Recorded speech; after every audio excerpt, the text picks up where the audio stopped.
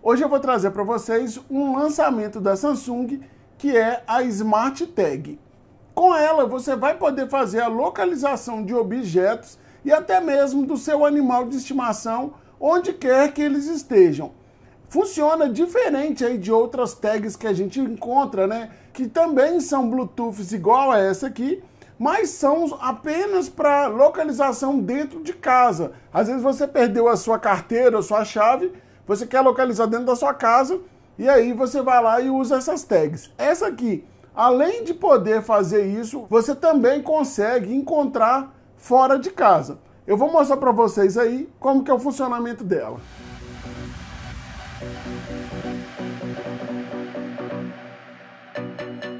Fala galera! Hoje então a gente vai falar da Smart Tag da Samsung. Ela foi lançada recentemente aí no mercado mundial. O link para compra eu vou deixar aí na descrição, caso vocês tenham interesse. No caso, ela funciona apenas com telefones Galaxy da Samsung, tá? Independente da linha Galaxy, ela vai funcionar. Eu vou explicar por que disso aí. Antes de começar a falar sobre esse produto, eu queria agradecer ao Carlos da Converge Automação que me ajudou aí a fazer os testes, principalmente de localização dela.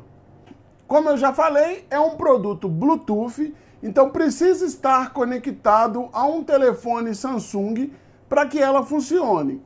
E aí você vai me perguntar, Patrick, é, se ela depende de um telefone Bluetooth para funcionar, como então que vai ser feita essa localização da Smart Tag fora de casa, né? sem o seu telefone. Se, por exemplo, você perdeu uma chave na rua. Aí é que vem a parte legal desse produto. A Samsung lançou recentemente um serviço que se chama Smart Things Find, que é para a gente fazer localização inicialmente aí de telefones celulares. E a gente pode utilizar isso aí para fazer rotinas né, dentro do Smart Things. Mas é o seguinte, a Smart Tag vai usar esse mesmo serviço. E como que funciona nesse caso? Você sai com a Smart Tag ali, por exemplo, na sua chave de casa, e aí você esquece ela na casa de um parente, ou você esquece ela na rua, num bar, em qualquer lugar. A Smart Tag ela vai, claro, desconectar do seu telefone, né? Porque é, ela depende dele para poder funcionar. Mas aí é que entra o recurso interessante.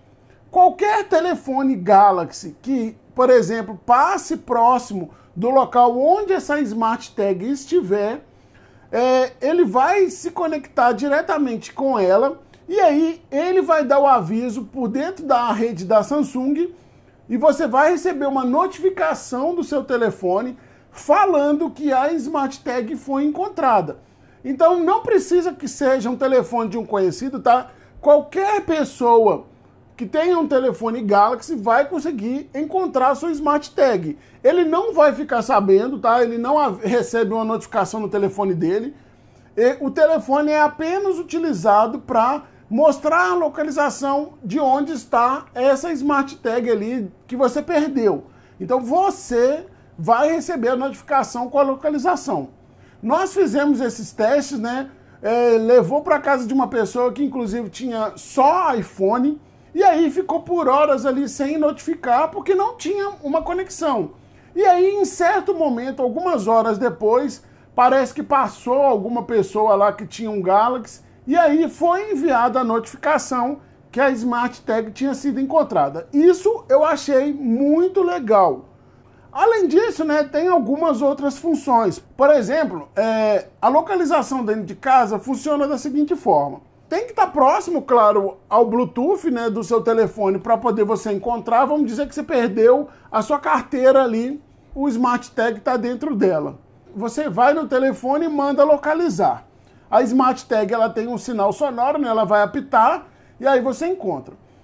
Também pode funcionar ao contrário. Vamos dizer que você não encontra o seu telefone e aí você está com a Smart Tag na mão. Você pressiona duas vezes nela o seu telefone vai tocar bem alto.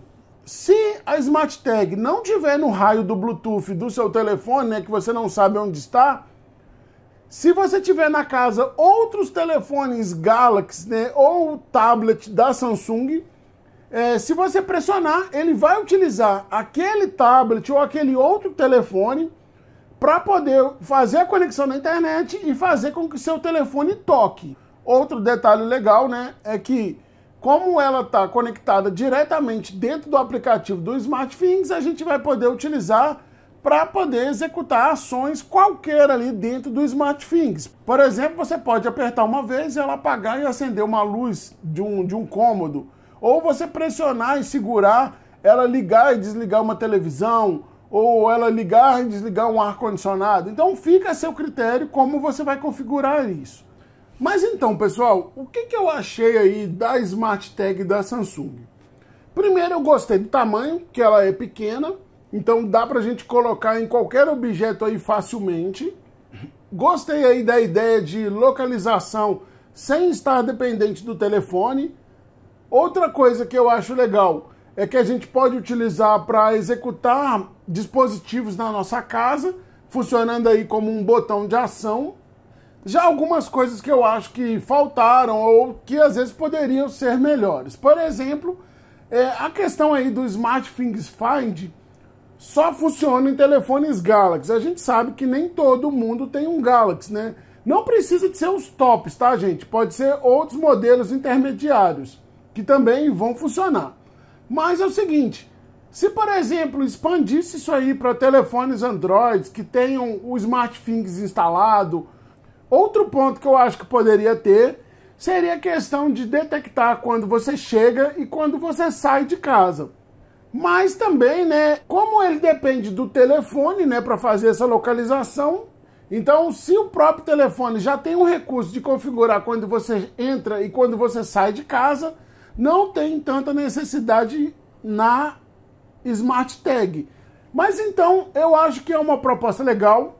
O preço, relativamente aí, não é dos melhores. Eu acho que poderia ser um pouco mais em conta.